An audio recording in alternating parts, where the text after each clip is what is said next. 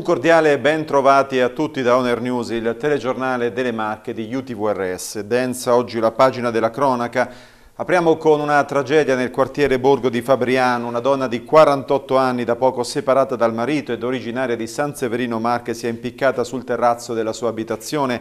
A fare la scoperta è stata la figlia quando è tornata a casa per pranzo ed ha subito chiamato il 118. A nulla sono serviti soccorsi. Il personale medico accorso sul posto non ha potuto far altro che constatare il decesso.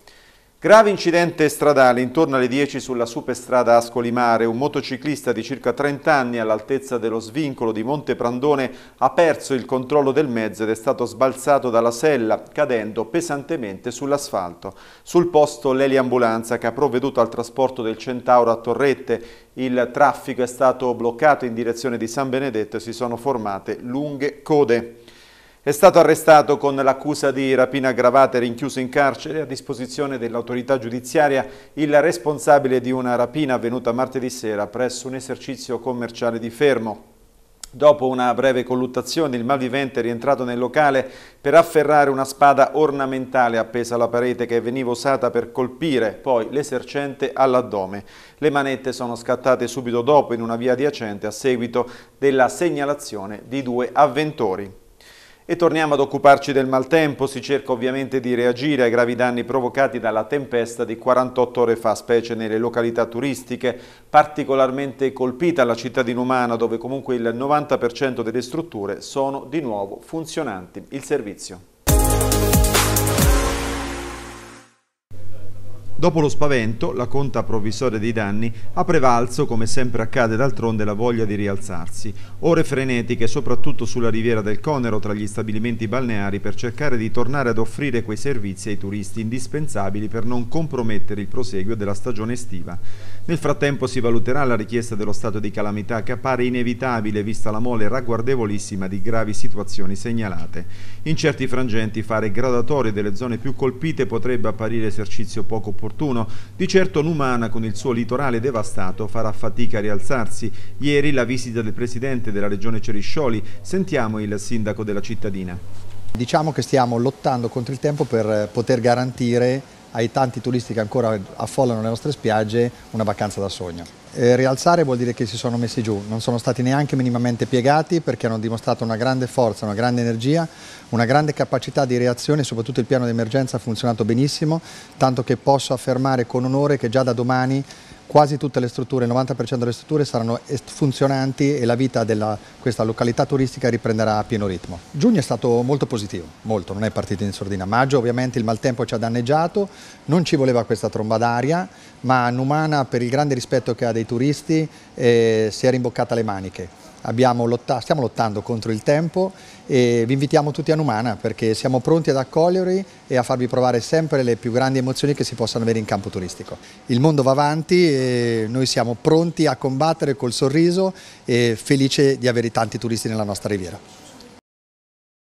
È stata dimessa questa mattina ed è tornata a casa la vice sindaco di Tolentino Silvia Luconi, 35 anni, ricoverata a Torrette dopo un incidente avvenuto nel tardo pomeriggio di ieri mentre si stava recando a San Ginesio ad una riunione della comunità montana. Stando a quanto si è appreso la donna avrebbe urtato una pianta in un tratto di semicurva ribaltandosi poi con la vettura.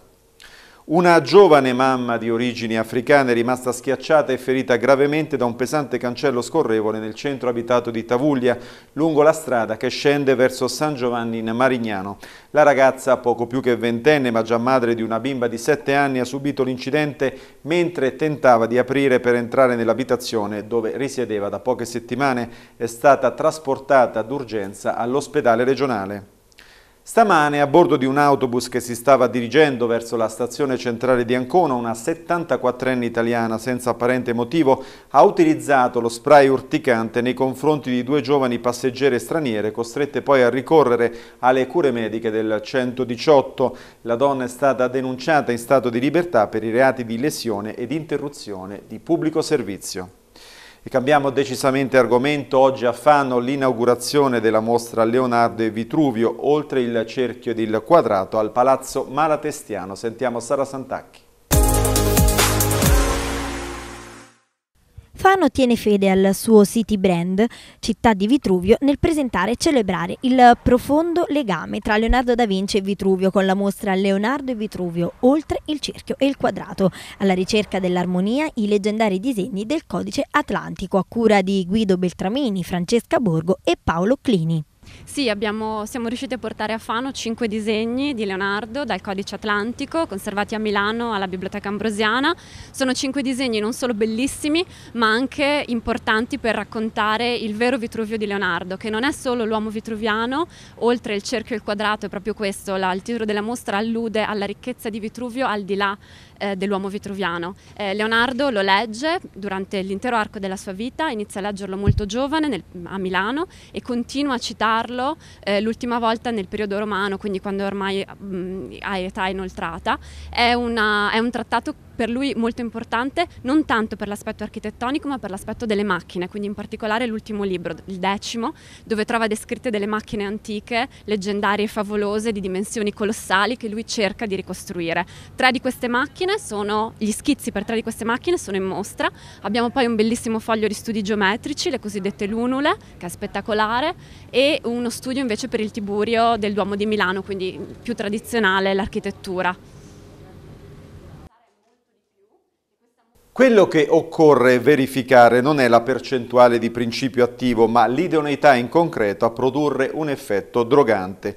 Così le sezioni unite della Cassazione fissano nelle motivazioni della sentenza emessa nel maggio scorso, a seguito della quale sono nati in tutta Italia migliaia di cannabis shop. Si applica la legge sulle droghe in caso di vendita al pubblico di prodotti derivanti dalla cannabis light, anche se l'olio, le infiorescenze e la resina presentano un THC sotto lo 0,6%. La coltivazione della cannabis, secondo i giudici, è consentita senza necessità di autorizzazione, ma possono essere essere ottenuti esclusivamente prodotti tassativamente elencati dalla legge 242 del 2016, possono ricavarsi alimenti, fibre e carburanti, ma non hashish e marijuana, confermando quindi le tesi del questore di Macerata Antonio Pignataro. Prosegue la tradizione di Lunaria Recanati, oggi presentato in comune il cartellone con due spettacoli, tra cui quello dell'8 agosto con Noa Vediamo. Lunaria 2019 dà appuntamento al suo pubblico con un'edizione speciale in programma Recanati nello scenario di Piazza Leopardi il 31 luglio e l'8 agosto prossimi. In scena la compagnia di musicultura con lo spettacolo Viaggiar cantando, canzoni e canzonette ed una vera star della musica internazionale, Noah. Entrambi gli spettacoli saranno ad ingresso libero. Ideata dall'Associazione Musicultura sostenuta dal Comune di Recanate con la collaborazione di Amat, Lunaria caratterizza da oltre vent'anni le estati della cittadina leopardiana. La rassegna Rassegna si è conquistata nel tempo la fiducia del pubblico con scelte artistiche che la distinguono dai consueti circuiti dei concerti estivi.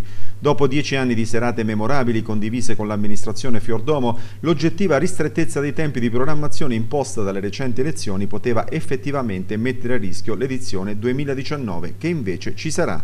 Allora una edizione speciale che condensa in due date il DNA di, della rassegna di, di Lunaria. Da un lato eh, un'espressione importante del territorio e dall'altra una grande prospettiva internazionale accomunate nella qualità. Quindi la compagnia di musicultura il 31 luglio con uno spettacolo Viaggiare cantando canzoni e canzonette che racconta la storia della motorizzazione degli ultimi cento anni e i suoi riflessi eh, nella, nella società a suon di canzoni, di contributi filmati e di racconti eh, narrati sul palco. Dall'altra una grande star internazionale, Noah, che arriverà a Recanati eh, l'8 di agosto è bello eh, osservare come negli ultimi anni Lunaria si stia sempre più confermando e anche la città di Recanate come un punto d'approdo ideale per grandi leggende della musica internazionale. Noah segue gli esempi di John Betts, di Graham Nash, di Solomon Burke e tanti altri.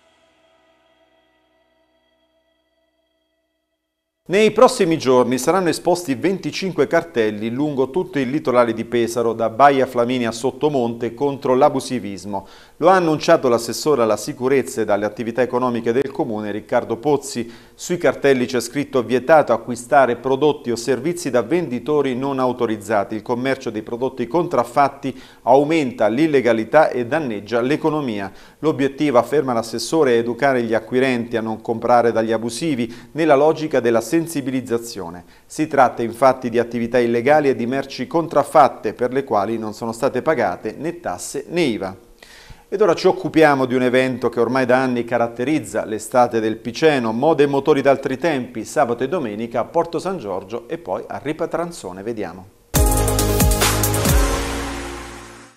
Mettete insieme affascinanti abiti d'epoca, splendide autovetture, tutte anteriori al 1970, alcune delle quali davvero da intenditori, le vie principali di una delle località balneari più rinomate della regione ed aggiungiamoci la visita il giorno successivo ad uno dei centri storici meglio conservati del territorio. Questa è in sintesi moda e motori d'altri tempi che sabato e domenica animerà Porto San Giorgio e Ripa Tranzone per l'organizzazione del club Automoto d'Epoca Piceno, meglio conosciuto come Campe.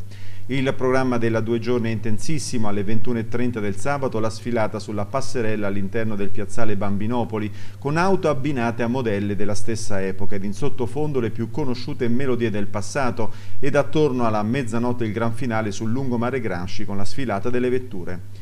Il giorno dopo l'arrivo a Ripatranzone in piazza Donna Bianca de Tarolis con la visita guidata allo splendido borgo del Piceno affacciato sul mare e con vista sui Sibillini, bandiera arancione e famoso per ospitare il vicolo più stretto d'Italia per chiudere il tutto in un ristorante di Marina di Campofilone. Turismo, con la promozione del territorio, la bellezza di auto prestigiose ed abiti di gran moda, hanno sempre contraddistinto questo evento, capace ogni anno di rinnovarsi e proporre delle autentiche perle e per questo davvero da non perdere. Siamo allo sport che apriamo con il basket, finalmente uno sponsor per la vittoria Libertas Pesaro che ha annunciato l'accordo per la prossima stagione sportiva con il gruppo Fratelli Beretta attraverso la storica azienda del territorio Carpegna Prosciutto DOP.